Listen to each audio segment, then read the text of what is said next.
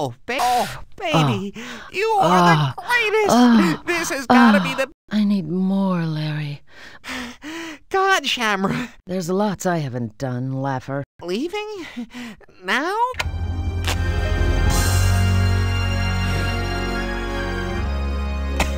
A night with you gives a woman plenty of time to think. All that New Age philosophy crap just isn't me. What I really love is money. You can't leave me here like this. You're right. So long, sucker. Hey, I don't smoke. Oh, baby, you are the lowest. This has got to be the worst night of my life. well, at least things can't get any worse. I should never say that.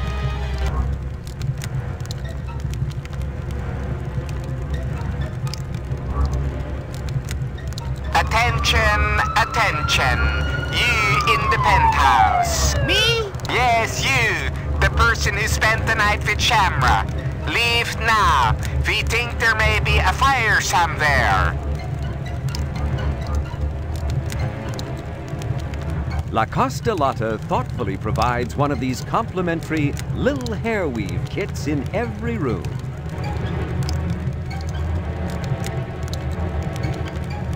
One of La Castellata's complimentary little hair weave kits lies on the table. You were planning to take it home.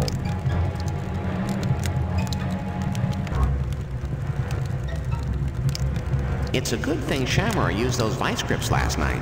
I can just reach them from here.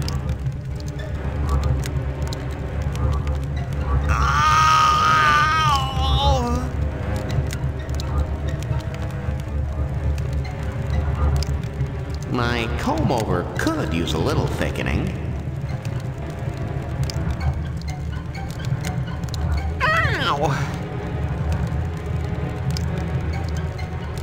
La Castellata. You open the La Castellata complimentary Lil Hair Weave kit and find a needle inside.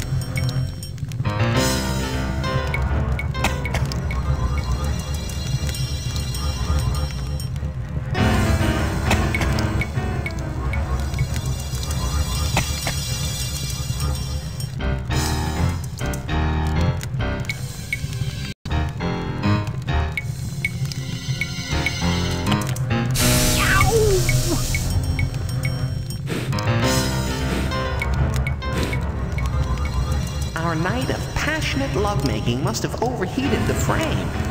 Yeah, right.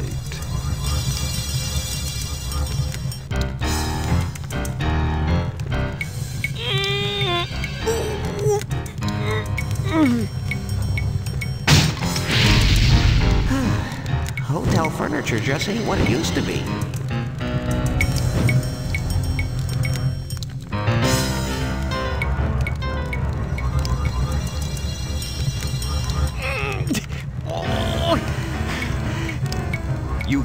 Lift that, Larry. It must weigh all of 20 pounds.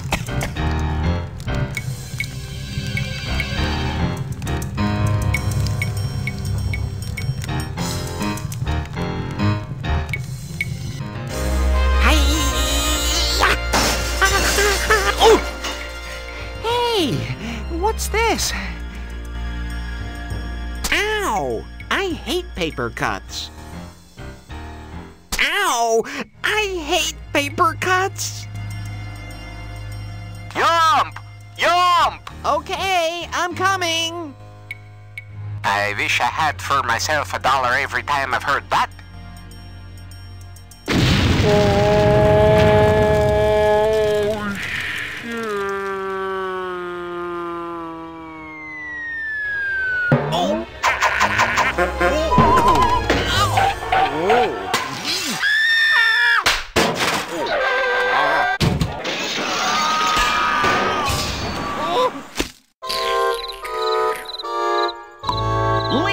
Suit Larry! You just leapt from the 40th floor of a burning building! What are you gonna do next? I'm going to take a cruise.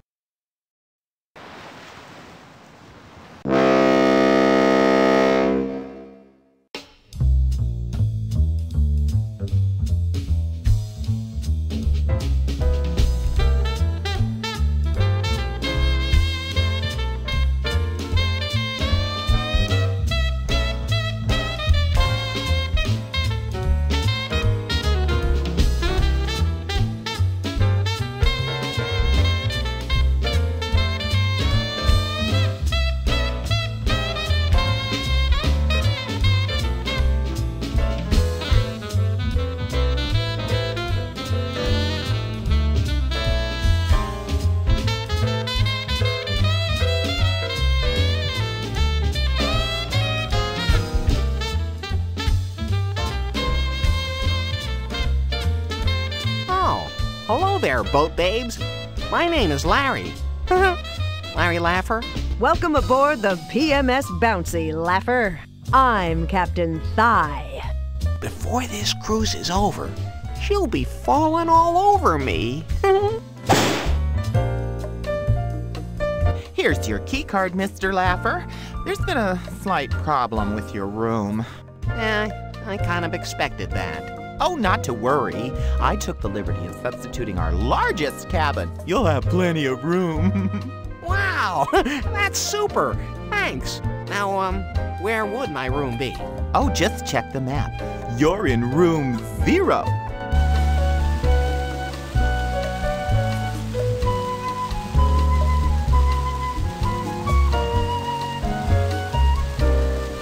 You're a jet.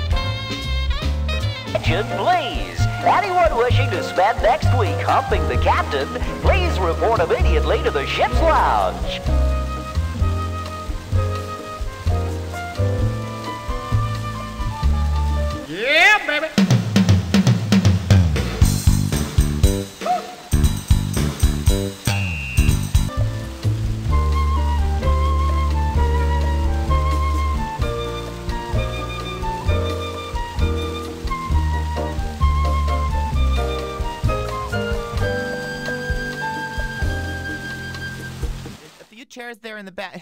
Oh, never mind. If you're not seated by now, just stand. I'm sure Captain Thygh will be pleased as punch to see such a good turnout this week. And as you all know, each week she runs a little competition for her male, or male-like, passengers, which she calls the Thygh's Man Trophy Contest. Isn't that cute? Of course, there's no actual trophy involved. No, what you win is better than hardware. One of you will spend next week cruising on the Captain. I mean, what. She'll treat you to a one week cruise in her cabin where your every need will be met. Oh. By now, each of you has received your personal scorecard listing a random set of events the computer assigned you. Now, don't you worry, okay? No one has to enter every event. There's just too many. Uh, just find the ones listed on your scorecard, enter, and win. The man with the highest total score wins. Are there any questions? Are there any answers? You may begin. Hey, um, I've got a question. Yes, you there in the interesting clothes. Uh, what's this item listed here on my scorecard? Chastity? It's a joke, sweetheart. Say, what's wrong with you anyway? You're not some sort of government infiltrator, are you? That's ridiculous. Oh, yes? I am going to keep my eye on you, sweetheart. It's not my fault you can't make a joke. Yeah? You'll find out when we're finally in charge. Then you'll be the one singing a chass titty tune. That's it. I'm leaving now. Everyone else is already gone. So they have. Very well dismissed. Hmm. He's a strange one.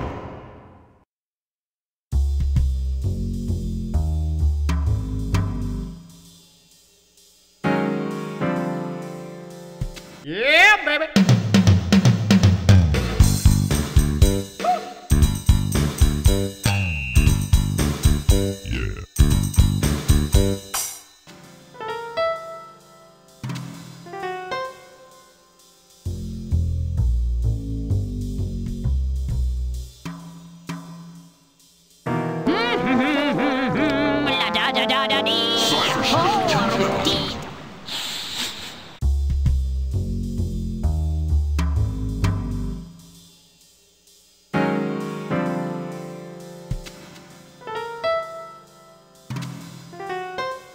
Johnson the bartender fits the old cliche surly to bed, surly to rise.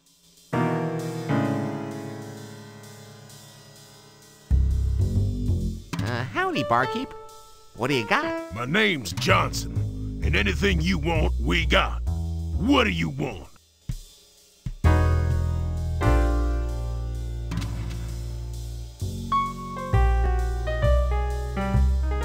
You must get a lot of guys in here telling you their troubles, don't you? Is it hard, Johnson? Yeah, makes me sick. I usually punch their lights out. Why? Oh. Hmm, no reason. I, uh, bet you see a lot of beautiful women working here, huh, Johnson? Yeah, so what? I'm just making conversation. And I'm just making drinks. Why don't you stop yapping and order one? Give me a. Oh, just point to the menu. one of those. No problem. Coming right up. Here you go. Boy, are these drinks watered down. How about a bourbon and soda? On the rocks, with a twist, and an umbrella, and, some fruit, and maybe a bendy straw. You know, one of those, you know, if you got them. You about done. Uh, yeah. Here, we ain't got no bending straws, so I gave you a Captain Happy's barrel of fun straw. Well, I guess it'll have to do. What do I owe you? Nothing. I'll put it on your room. Got a key card? Right here. Okay, now drink it.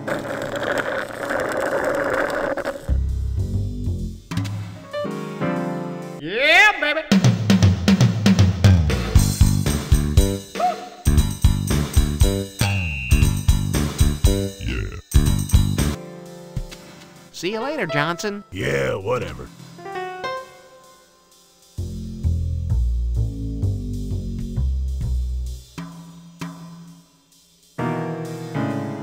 Hey, hold it! What do you think you're doing? You can't go in there. That's private. Why, them women could be naked in there, and the, the breast is swinging back and forth with the, the nipple thing, and they could be hanging upside down again. getting.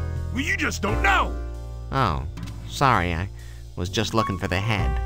Don't you talk that nautical talk to me, bub. I'm just a plain old country boy.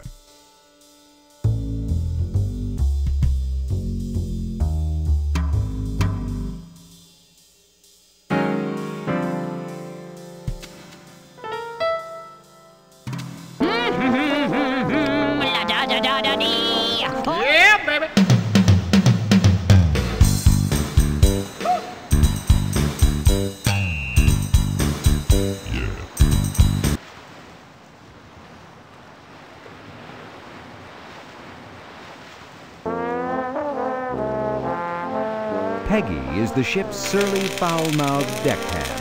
Heavily affected by a childhood spent watching too many pirate movies, she thinks she's a swashbuckler. She even had her peg leg rigged to accept multiple interchangeable janitorial attachments.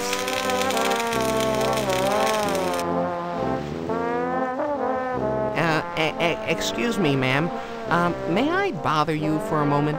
whew, this god salt air is rusting me f***ing leg socket.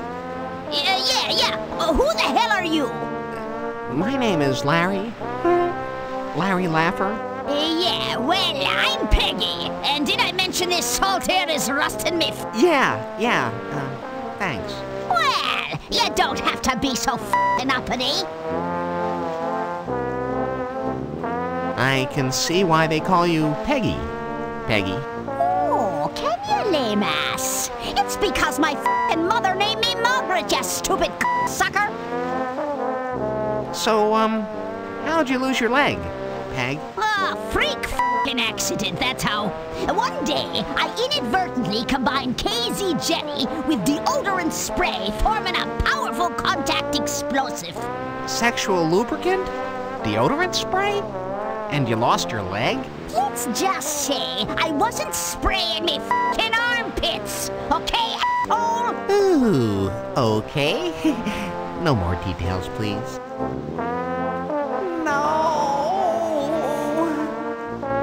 Is it just me, or do you seem to swear a lot? Swear? Oh, hell no, motherfucker! I suffer from Clorets. Clorets? Don't you mean Tourette's? No, you dumb twat. I mean, I got a foul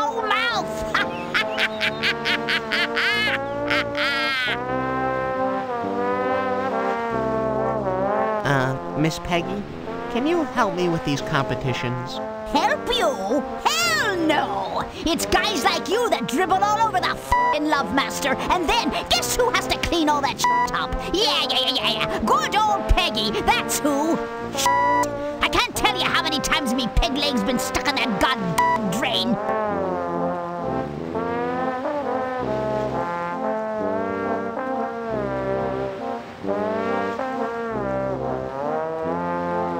I'll see you around, Miss Peggy. It's been my f***ing pleasure, you prick. Your attention, please. Mark has just finished with a record high score in the nude curling competition. This handsome sailor entertains the many children on the cruise.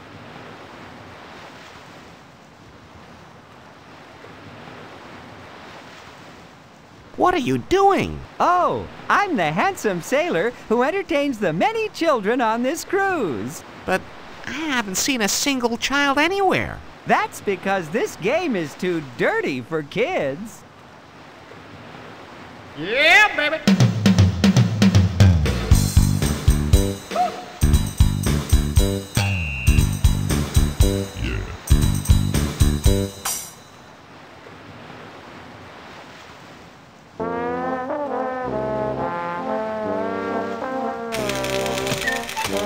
No alarm sounds. Huh. Makes me wonder about all those times I didn't sneak into movie theaters.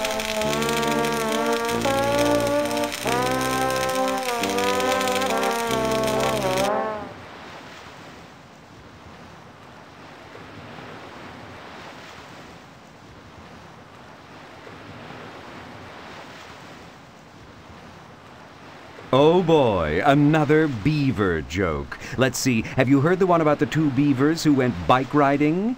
Oh, not again. Oh, you've heard it. Yeah, baby.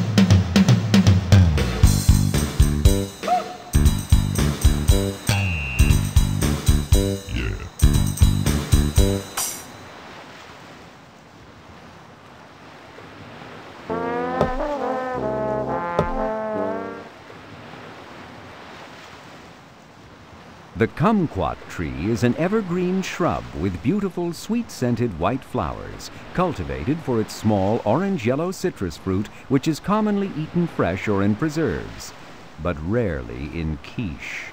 And this is the first one you've ever seen that's been sculpted into a sheep shape. Quickly, repeat after me. Sheep shape, sheep shape, sheep shape.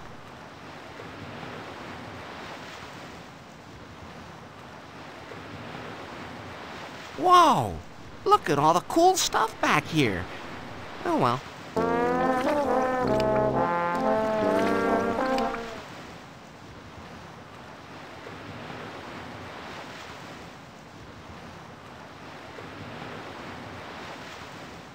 Don't you wish you could see the stuff that's back here?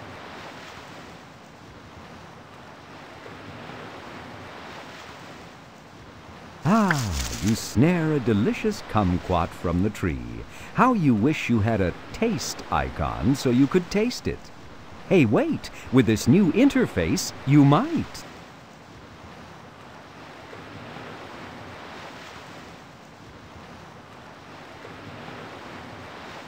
So, exactly what is it you do? Well, I make balloon animals. Say, do you want one?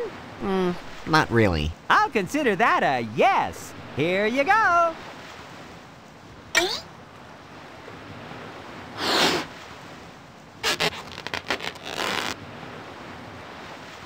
Look, it's Hooty the Owl.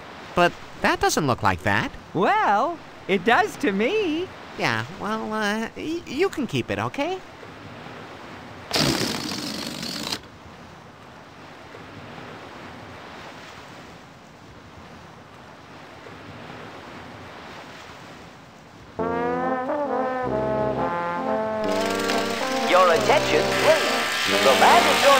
Mandatory safety drill for all passengers will be... Ah, mind.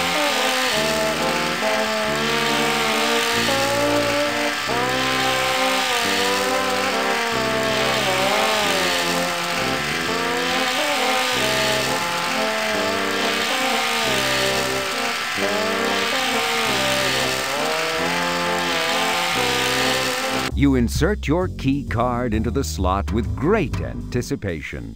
What will your special suite be like?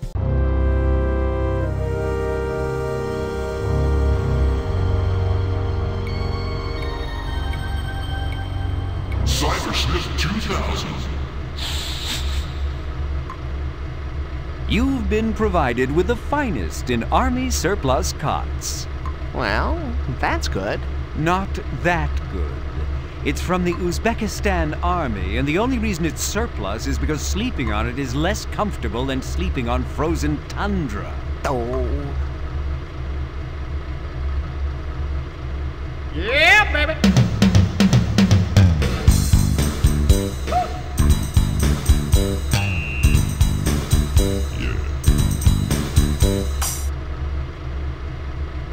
The toilet worked perfectly when this cabin's last occupant checked in.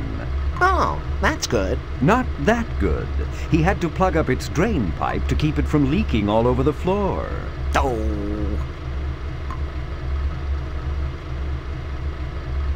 This toilet doesn't work. It has no water coming in, and the drain seems to be plugged up.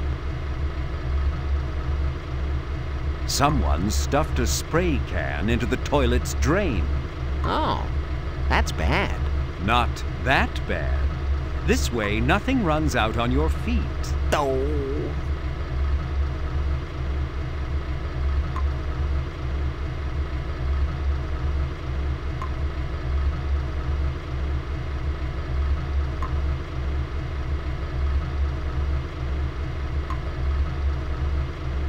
Now the toilet drains freely.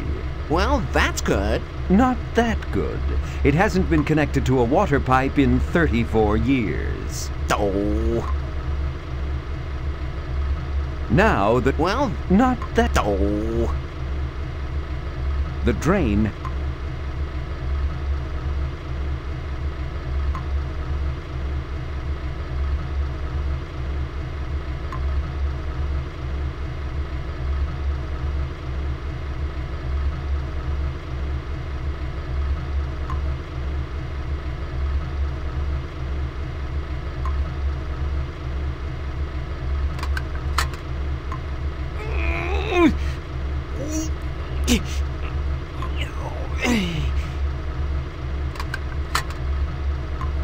Now that toilet will have of water.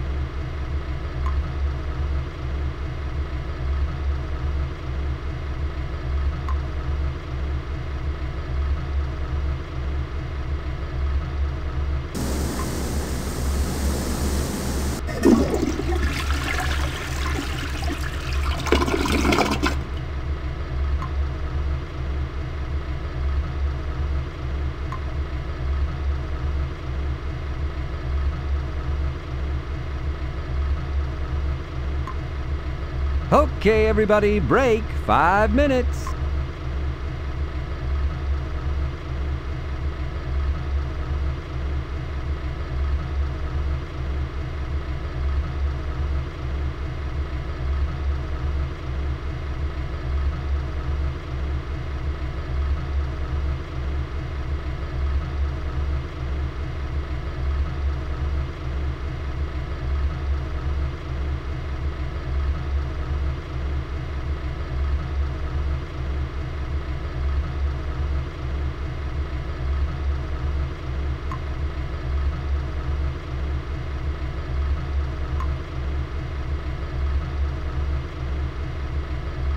Your attention, please. Jem has just won the Strip Twister Championship.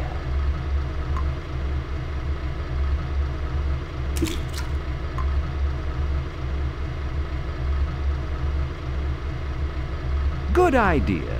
Get everything done at once.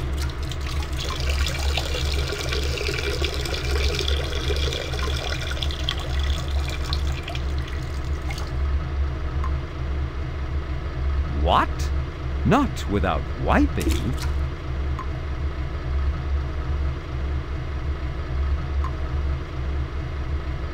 What are you going to use? Your leisure suit?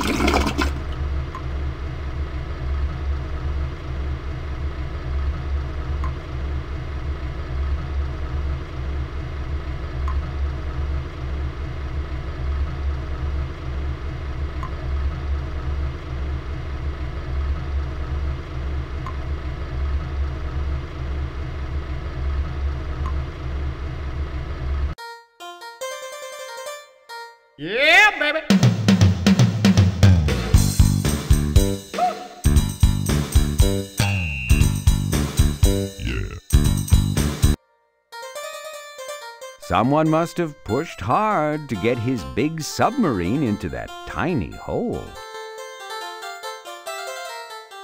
Nah, I already have something long and hard and filled with sea men. Well, up periscope.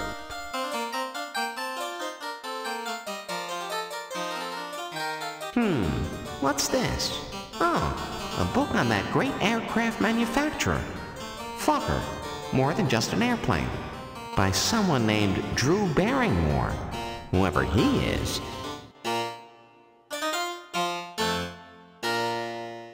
Hmm, I think I'll scan a little of this first to see if it's something I want to read in depth.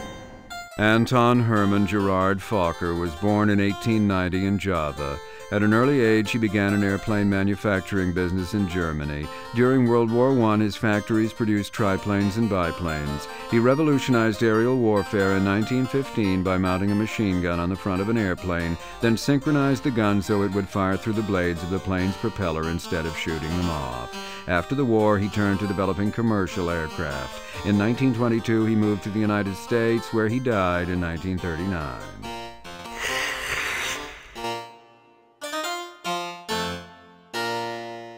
Nah, you've already read this one.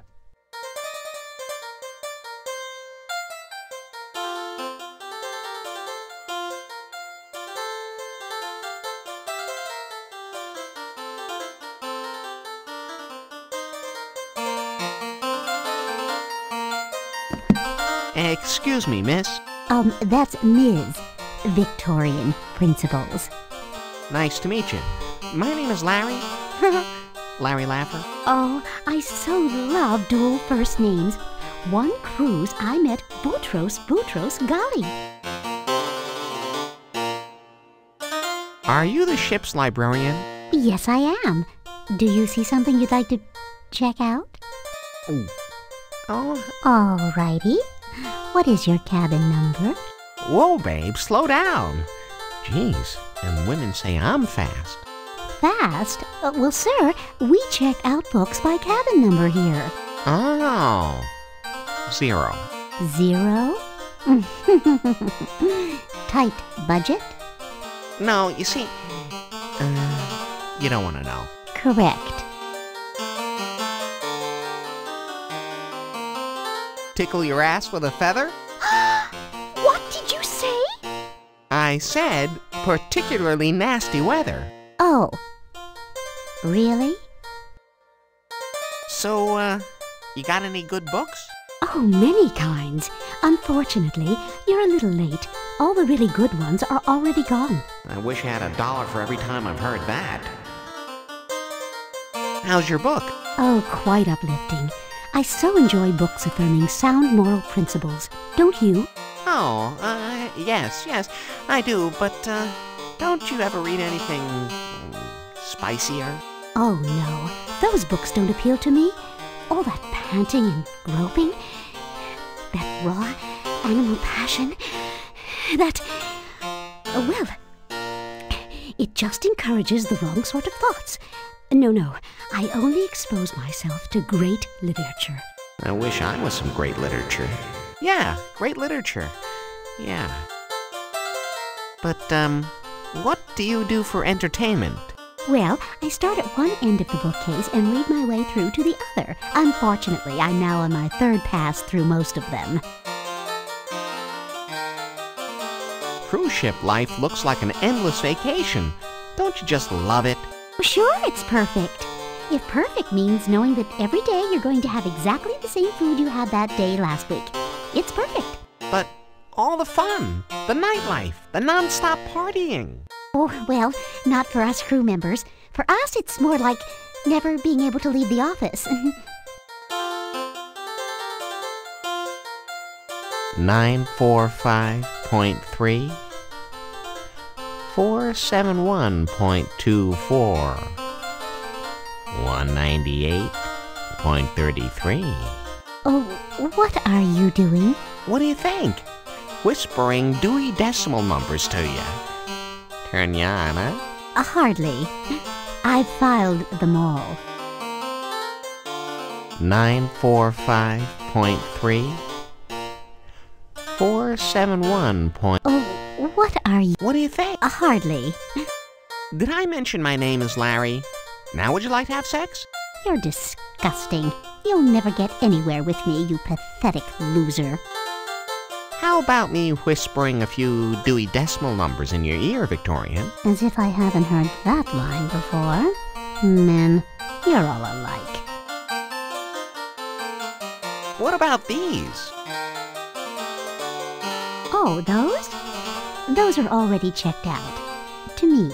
That's a lot of reading for one cruise. Not for me. I'll finish those tonight. In bed. Would you like to know what I plan to do tonight, um, in bed? I'll vote sleep.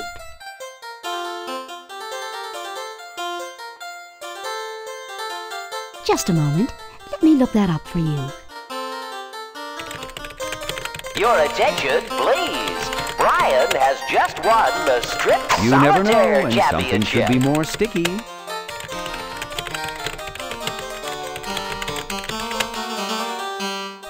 Have one book on that, but the captain is reading it. Well, nice talking to you, Victorian. Perhaps I'll stop by later.